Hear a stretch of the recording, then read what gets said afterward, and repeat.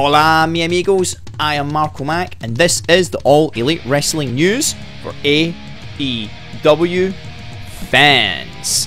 Today, we're going to be talking about the ratings, this week's ratings of how AEW performed against themselves and against the old NXT. So, it'll be interesting to see how we did in the ratings war, the Wednesday night war this week. We're also going to be talking about Jeff Cobb. So, what's the story with Jeff Cobb? Has he or has he not signed a new contract for All Elite Wrestling? Is he still a free agent? Hmm. And I'm going to be talking about an injury that Cody Rhodes has potentially done to himself when he did that massive moonsault off the top of the steel cage against Wardlow on Dynamite this week. And finally, probably my favourite story, is we've just released the new action figures for All Elite Wrestling, and I really, really love my action figures high end ones. I think they're fantastic. So I'm looking forward to going through some of the new action figures we've got.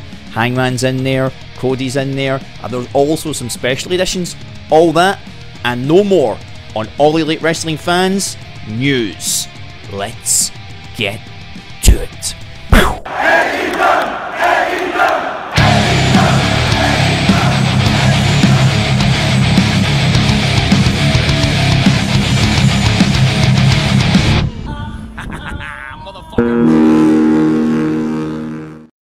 And now to our first story. It's that favourite time of the week for everyone. It's the ratings war news between All Elite Wrestling and NXT.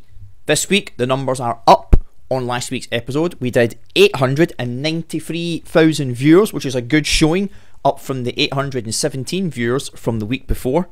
I'd like to see the individual segment breakdowns to see which segments brought the most fans in. I'm guessing the cage match was the one that got most people to tune in and watch because it was epic and everyone was talking about it. And it was our first ever cage match, so that must have done some good numbers for that segment. Uh, it was 0.31 rating in the 18 to 49 demographic, so still holding strong, still doing really well in that demographic. I can't see them losing it. NXT do very well in the over 50s, but WWE do have a longer and an older fan base, so they've kind of been there from the start. Whereas AEW, they're attracting some older fans, they're attracting some people that have fallen away, the lapsed fan, plus we've got a whole new um, second and third generations that are coming through into wrestling. So all of this, all of this helps keeps the fan base going, keeps keeping to help it to grow and to get more eyes on the product. NXT, I mean, these numbers are not to be scoffed at at all. When you look at this, NXT did 794,000, so you're looking at a difference of 99,000 viewers. That's a really strong number. You'd expect between the two companies by now that AEW would be pulling away a little bit and maybe having more in the ratings. But again, time time will tell. It's got to grow organically. You're looking at 903,000 as their average viewers for um, AEW every Wednesday night. I've said before the DVR numbers are a lot higher for NXT and AEW. Apparently, they're even higher than the DVR numbers for SmackDown and Raw. It's all relative. It's not an exact science, to be perfectly honest. They're not counting every single person that's watching. There's a lot of manual intervention that goes into these numbers. They're not perfect, but it's a good indicator of how a product is performing, and it's a pretty good metric. And it's a metric which which tends to get better every week for AEW, or at least every month. Monthly averages are improving. We can only hope that it continues and that more people tune in to NXT. Let's see how we do next week as it's the go home show for Revolution. Are the numbers going to increase? Are there going to be more eyes on the product? Time will tell. I'm actually really excited about it. We should see what the numbers do this week. I'd like to see them hit a million. No guarantees, but that is the ratings news because we love a good rating. Now for the second story which centres around our new AEW debut, I guess we could say, is Jeff Cobb. He made his in ring debut against Jon Moxley this week on Dynamite, debuting, of course, alongside uh, Wardlow, who had a very good showing against Cody Rhodes. But Jeff Cobb looked very, very impressive in that match. He didn't look weak in defeat at all because he over sort of arched himself on the superplex, which allowed Jon Moxley to roll him up for the pin but he seemed to dominate the entire match. Really, I'd, I'd say he dominated the majority of the match, which was a very good showing for Jeff Cobb. Now that makes you think, hmm, if they're booking him this strong, they clearly want to hold on to him, and that's correct. It has been rumoured that he's been offered a contract with All Elite Wrestling. Has he accepted it? From what we know so far, he hasn't accepted the contract. I think he'd be crazy not to take it, but he still wants to work in New Japan. He still wants to work in Ring of Honor and doing some dates for those companies. So I guess it's completely up to Jeff Cobb what he decides to do. I would like to see him doing more in All Elite Wrestling. I'd like to see him do a bit like what Nyla Rose is doing at the minute. She's steamrolling through all the women, getting some wing, wings, wings, getting some wins under her belt, under her wings, her bees wings, eh? That she said about the bees this week. If Jeff Cobb can do the same, get a few wins, build some momentum, I can really see him being a dominant force, not just within All Elite Wrestling, but within the inner circle as well. He's like Chris Jericho's hitman at the moment. He's his hired gun, which kind of makes you think, was Big Hurt? What's his role? He's got to fight Dustin at Revolution.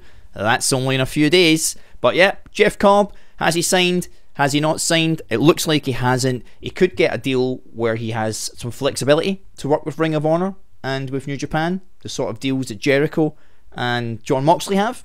Could have a similar thing set up. We don't know. Time will tell. And let's just see if any more breaking news happens over the next few days between now and Revolution. If anything happens at Revolution, that makes Jeff Cobb look like an absolute beast, that could be a telltale sign that perhaps he has inked some sort of contract.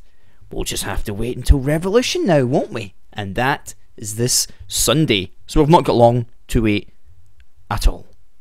And now, in some rather unfortunate news, All Elite Wrestling has reported that Cody Rhodes is currently injured. Now, the injury isn't said to be serious, and he has been cleared to wrestle, but apparently, he has fractured.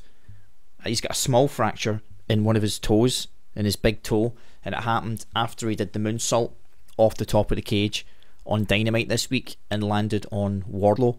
It looked like it didn't look like Wardlow caught a lot of Cody from that moonsault, but again, he climbs to the top and he's thinking to himself, if I have to stop and look around here, you can't change your mind, right? You're on national TV, so just get up and just jump. Don't think about it. Get up, get to the top, and just go.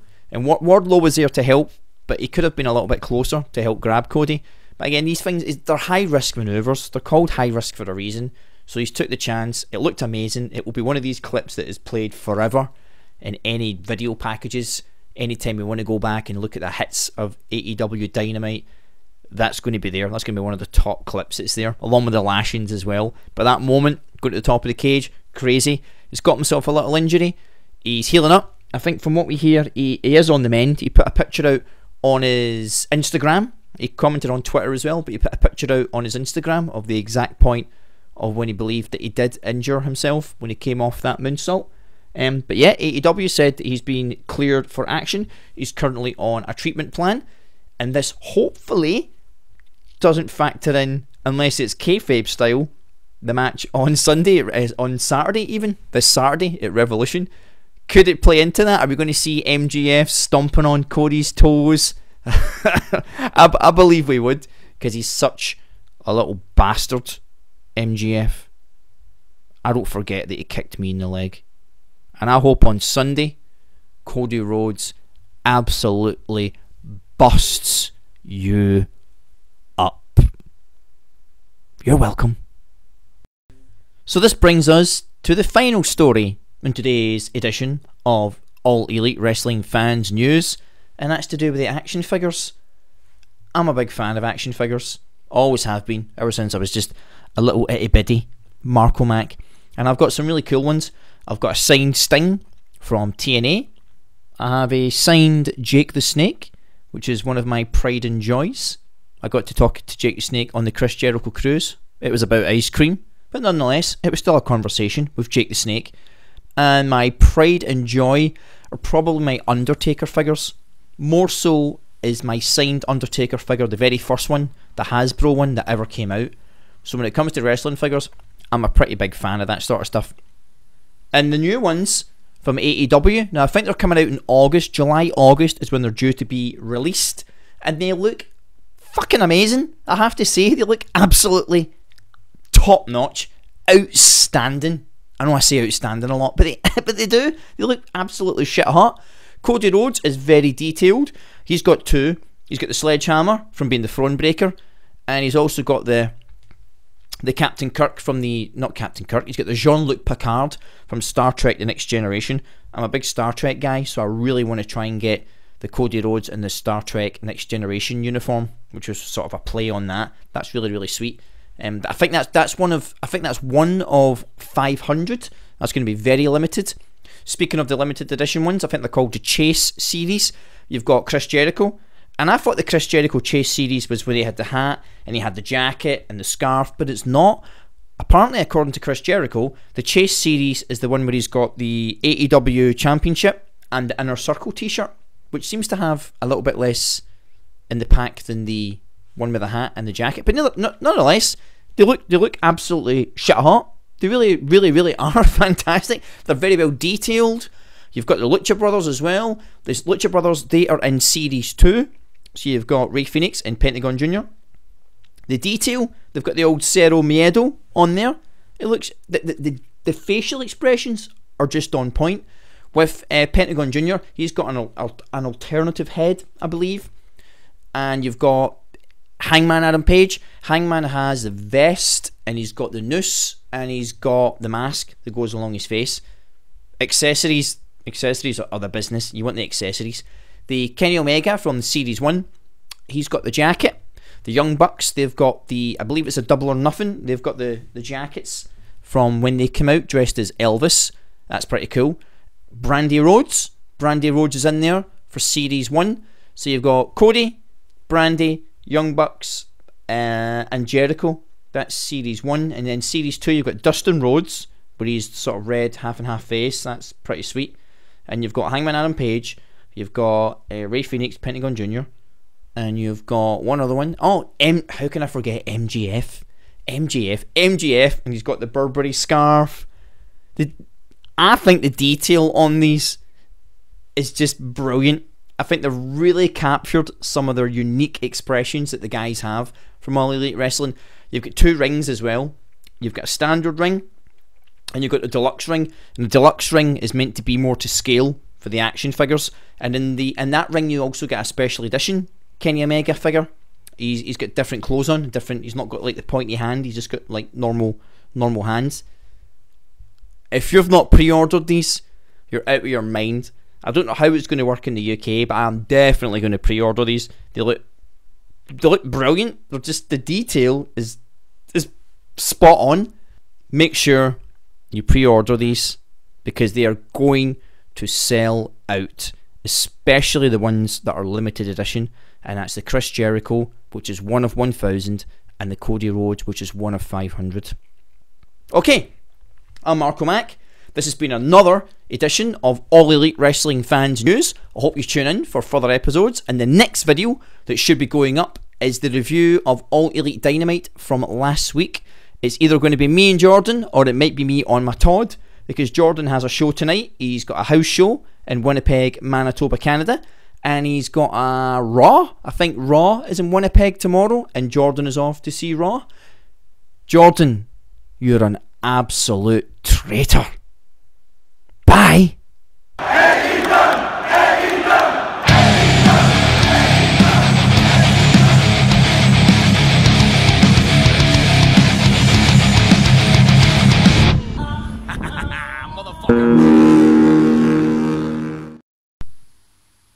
Thanks everyone for watching AEW fans and please please make sure you like and subscribe because if you don't Michael here he's not gonna be happy.